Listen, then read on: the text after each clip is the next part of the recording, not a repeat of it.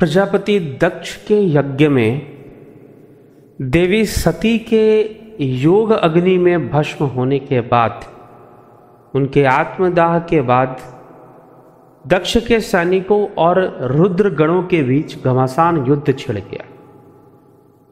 वह युद्ध भी बहुत लंबे समय तक चला।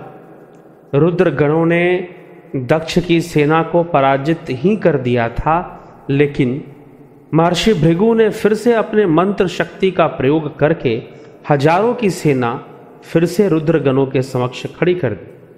फिर वो उससे युद्ध करने में उलझ गए। उनको पराजित करने के बाद पुनः हज़ार लाखों की सेना महर्षि भृगु ने अपने मंत्र शक्ति से उत्पन्न कर दी। अब रुद्रगणों के समक्ष ये समस्या था। काफ़ी रुद्रगण भी घायल हो रहे थे और मृत्यु को भी प्राप्त हो रहे थे। यद्यपि शिव की कृपा है उनके ऊपर इसलिए वो हमेशा हर अवस्था में रुद्र गण के पद पर रहेंगे। अब हुआ क्या कि रुद्र गणों ने विचार किया कि अब प्रजापति दक्ष का क्या करना है, क्या नहीं, यह हमारे अधिकार क्षेत्र के बाहर है। हमारा दायित्व तो बनता है, हमारा कर्तव्य बनता है कि एक बार हम जाकर कैलाश पर स्वयं भगवान भोलेनाथ को इस सारी घटना की सूचना अवश्य दे दें। और ऐसा विचार कर कर नंदी आदि रुद्रगण दक्ष के सैनिकों से लड़ना छोड़ उस समय कैलाश पर्वत पर चले गए। विलाप करते हुए, रोते हुए, आँखों से अश्रुधारा को अविरल बहाते हुए नंदी कैलाश पर पहुँचे। जैसे ही इस प्रकार से क्रंदन करते हुए नंदी आदि रुद्र गणों को भगवान शिव ने देखा शिव भी व्याकुल होकर पूछ पड़े कि नंदी क्या हुआ? तुम्हें कौन सा दुख? तुम तो निरंतर आत्मा आत्मानंद में लीन रहने वाले हो। फिर तुम क्यों इतने दुखी नज़र आ रहे हो? ऐसा क्यों व्यवहार कर रहे हो? सारी घटना मुझे कह सुनाओ। नंदी, आखिर ऐसा क्या हुआ कि तुम इतना विलाप कर रहे हो, इतना रो रहे हो? उस समय नंदीश्वर भगवान शिव के चरणों में जाकर गिर जाते हैं और भगवान शिव के चरणों में गिरकर बहुत रोते हैं। अपने आंसुओं से शिव के चरणों का प्रक्षालन कर देते हैं। भगवान शिव बार बार नंदी के भुजाओं को पकड़कर उठाते हैं और पूछते हैं, नंदी, बताओ, तुम इतना विलाप क्यों कर रहे हो? इतना क्रंदन क्यों कर रहे हो? एक बालक की भांति इतना रोए जा रहे हो। बताओ सारी घटना बताओ कि क्या हुआ? नंदीश्वर नंदीश्वर रोते रोते सारी घटना कह सुनाते हैं कि हे महादेव हे महादेव, हमारी माता, देवी सती, आपकी अर्धांगनी देवी सती अब इस संसार में नहीं रही। प्रजापति दक्ष के यज्ञ यज्ञ सभा में, यज्ञ कुंड के पास देवी ने आत्मदाह कर लिया। स्वयं को योग अग्नि में भस्म कर लिया भगवान। स्वयं को योग अग्नि में भस्म कर लिया। देवी आपका अपमान सहन ना कर पाई। देवी उस घोर अपमान को सहन ना कर पाई और इस कारण से ऐसी ऐसी घटना घटी है प्रभु। प्रजापति दक्ष ने उन्हें भरी सभा में बहुत अपमानित किया। बहुत भला बुरा कहा। आपका भी घोर अपमान किया। आपका अपमान देवी सहन न कर पाई भगवान। और आत्मदाह कर लिया, आत्मदाह कर लिया। हमें मृत्यु दंड दे, हे कैलाशपति, हमें मृत्यु दंड दे। आपने हमें कहा था कि जाओ, सती के अंग संग रहना, उनकी रक्षा करना, उनके अंग रक्षक बनकर जाओ। लेकिन हम उनकी रक्षा करने में विफल हुए। हम असफल हुए, इसलिए हे महादेव, हमें मृत्यु दंड प्रदान करे भगवान मृत्यु दंड प्रदान करे। हम इसी योग्य हैं, हम घोर पापी हैं, हम भी इस घटना के कारण हैं, जिम्मेदार हैं, इसलिए हमें मृत्यु दंड मिलनी चाहिए मृत्यु दंड मिलनी चाहिए। नंदीश्वर ऐसा कहकर भोलेनाथ के चरणों में लौट गए। अपने अश्रुधारा से शिव के चरणों का प्रक्षालन कर दिया। इतने अश्रु बहाए शिव भगवान भोलेनाथ विचार करने लगे, कि आखिर नंदी, ये कैसी घटना सुना रहा है? यद्यपि शिव अंतर्यामी है, सब जानते हैं, परंतु फिर भी आधार चाहिए, कोई भी कार्य करने का, कोई भी निर्णय लेने का। जब तक भक्तों का आधार स्थापित नहीं होता, तब तक भगवान कृपा नहीं करते हैं। फिर क्या हुआ? भगवान शिव ने मन ही मन नारद जी का आह्वान किया। और नारद जी का आह्वान कर कर देव ऋषि नारद से पूछा कि, हे नारद, हे देव ऋषि नारद, तुम तीनों लोगों की घटना जानते हो और भली भांति जानते हो। इसलिए मुझे मुझे एक बात बताओ कि क्या नंदीश्वर ने जो खबर मुझे सुनाई, जो समाचार मुझे दिया है, क्या वो सही है? क्या वो सत्य है? क्या ऐसी घटना घटी है? देव ऋषि नारद को समझते हुए देर नहीं लगा कि आखिर नंदीश्वर ने कौन सी कथा भगवान शिव को सुनाई होगी। वो भली भांति समझ गए कि अवश्य ही प्रजापति दक्ष के यज्ञ में जो कुछ भी हुआ, नंदीश्वर ने वो सब भगवान शिव को बता दिया है। और जब सब बता दिया है तो मुझे क्या अधिकार कि मैं झूठ बोलूँ? और जब शिव स्वयं पूछ रहे हों तो मिथ्या या कुछ और कहने का प्रश्न ही नहीं उठता। भगवान शिव ने फिर से पूछा देव ऋषि चुप क्यों हो? देव ऋषि नारद, मुझे बताओ, क्या यह घटना सत्य है कि प्रजापति दक्ष के यज्ञ में सती ने आत्मदाह कर लिया? क्या यह सत्य है नंदिश नारद, मुझे बता दो। उत्तर दे दो। देव ऋषि नारद भी कुछ कह ना पाए। कह ना पाए। हाँ में सर हिलाते हुए उनके भी आँखों से अश्रुधारा फूट पड़ी। वो भी रो पड़े और भगवान के चरणों में गिर गए और बोल पड़े फफकते फफकते रो रो कर कह पड़े कि हाँ प्रभु हाँ प्रभु, यह सत्य है सत्य है प्रभु, सत्य है।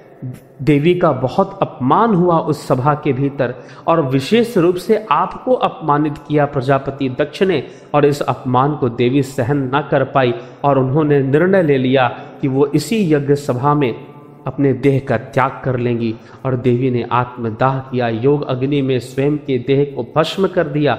अब इस संसार में अब इस स्थूल सृष्टि में, इस संसार में देवी नहीं है प्रभु।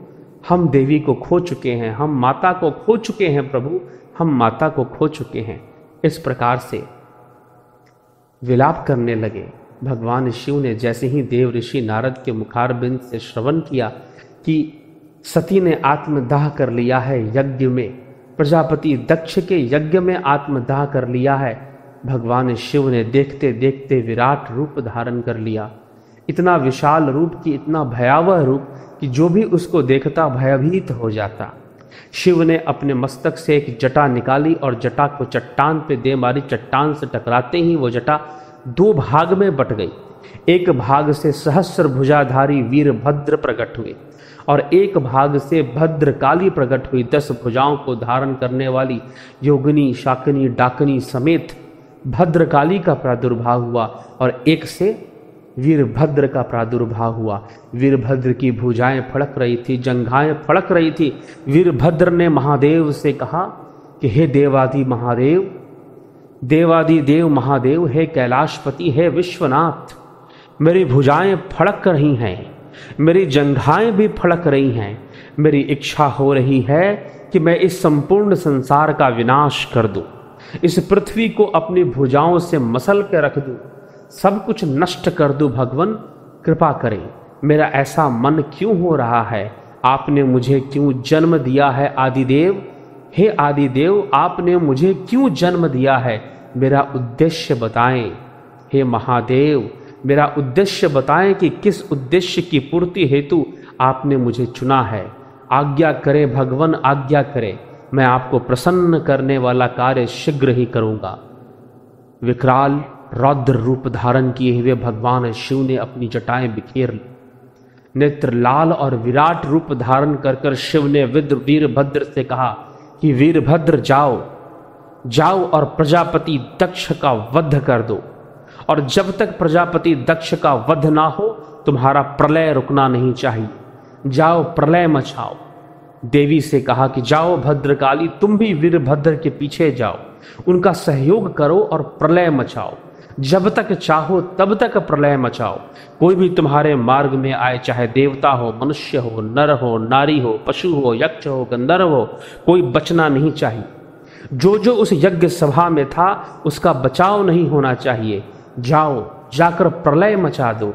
और देखते देखते वीरभद्र जैसे जैसे भूमि पर अपना पग रखते, वैसे वैसे भूकंपित हो जाता। ये पृथ्वी बार बार कंपित हो जाती, प्रलय मच गया चारों तरफ़। देखते देखते प्रलयंकारी घटनाएँ शुरू हो गई, भूकंप आने शुरू हो गए, बाढ़ आने शुरू हो गए, बिजलियाँ गिरनी शुरू हो गई और माता भद्रकाली इस प्रकार से प्रलय मचाती हुई आगे बढ़ जाती हैं। वीरभद्र जब पहुँच जाते हैं दक्ष की नगरी में दक्ष की सेना के समक्ष पहुंचकर दक्ष की सेना के साथ घमासान युद्ध प्रारंभ हो जाता है। देखते देखते अपनी हज़ार भुजाओं के प्रहार से देखते देखते वीरभद्र प्रजापति दक्ष के हज़ार सैनिकों का एक ही वार में वध कर देते हैं। मंत्र शक्ति से भृगु, फिर से सैनिकों को जन्म तो देते हैं, लेकिन एक ही वार में वीरभद्र उन सब का वध कर देते हैं। अब देखते हैं कि भृगु अब कुछ भी नहीं हो सकता। भृगु को पकड़कर, भृगु की की दाढ़ी खींचकर और बाल खींचकर उन्हें मुंडित कर देते हैं और भृगु का वध कर देते हैं। जैसे ही भृगु का वध हो जाता है, अब प्रजापति दक्ष अकेला पड़ जाता है। प्रजापति दक्ष सोचता है कि अब मैं क्या करूँ? मेरे सारे सैनिक तो मारे गए। भृगु महाराज की भी मृत्यु हो चुकी है। अब मंत्र शक्ति से सैनिकों को जन्म देने वाला भी नहीं बचा। अब मैं कहाँ जाऊँ? मैं कहाँ भागूं? तो प्रजापति दक्ष भगवान विष्णु की शरण में भागता है। प्रजापति दक्ष को एक समय भगवान विष्णु ने कहा था कि मैं एक समय तेरे पक्ष में युद्ध करूँगा और उस समय विष्णु के पास जाकर, भगवान विष्णु के पास जाकर प्रभु से कहता है कि, हे प्रभु, आप मेरी रक्षा करें। रक्षस्व माम प्रभु, रक्षस्व माम। रक्षस्व माम प्रभु, रक्षस्व माम। भगवान विष्णु के पास जाकर भगवान श्री विष्णु से कहता है कि आप मेरी रक्षा करें, भगवान, आप मेरी रक्षा करें। आपने वचन दिया था कि आप मेरे प्राणों की रक्षा करेंगे। आप मेरे लिए युद्ध करेंगे, भगवान विष्णु ने कहा। भगवान विष्णु ने कहा कि प्रजापति, दक्ष अपने शब्दों का प्रयोग संभाल के करो। मैंने क्या वचन दिया था? मैंने कभी यह वचन नहीं दिया कि मैं तुम्हारी रक्षा करूँगा। मैंने मात्र इतना वचन दिया था कि मैं तुम्हारे पक्ष में युद्ध करूँगा। और मैं वो अवश्य करूँगा, क्योंकि मैंने वचन दिया था। इसलिए आज महादेव के दूत, महादेव के पुत्र वीरभद्र स्वयं युद्ध कर रहे हैं। वो स्वयं शिव स्वरूप ही हैं। मैं अवश्य युद्ध करूँगा, लेकिन प्रजापति दक्ष, तुमने जो भूल की है, जो तुमने गलतियाँ की हैं, वो भी अक्षम्य है। उसे क्षमा नहीं किया जा सकता है, प्रजापति दक्ष, तुमने शिव द्रोह किया है। क्यों? क्योंकि तुम्हें शिव और विष्णु में भेद दिखाई देता है। तुम मेरा सम्मान करते हो, शिव का अपमान करते हो, जबकि सत्य यह है कि हर और हरि में कोई भेद नहीं है, और जिसने भी भेद किया, उसका सर्वनाश हुआ। इसलिए हे प्रजापति दक्ष, मैं तुम्हारी रक्षा तो नहीं कर सकता, लेकिन कुछ समय के लिए तुम्हारे पक्ष में युद्ध अवश्य करूँगा। प्रजापति दक्ष ने सोचा कि चलो कुछ समय ही सही, भगवान की सहायता तो प्राप्त हो। भगवान विष्णु पहुँच गए।